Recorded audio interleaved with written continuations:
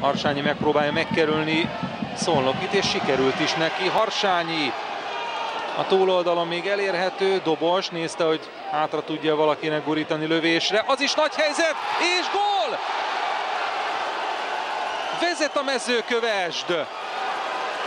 Kettő perc telt el a második félidőből, elaludt az egész videóton védelem. 1-0 tehát a hazaiaknak.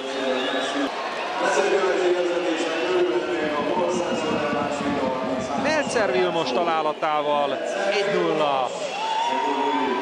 Nagyon szép volt, ahogy szólnak itt megkerüli Harsányi, itt lövi el keresztbe, és már érezhető volt, hogy Dobost nézi-nézi, hogy kit játszhatna meg, és a labdával egy vonalban van Melcer, érzésem szerint ez nem volt les.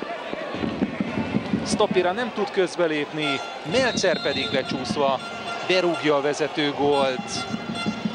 Ez az ötödik gólja ebben a bajnokságban, és a 25. NB1-es karrierje során.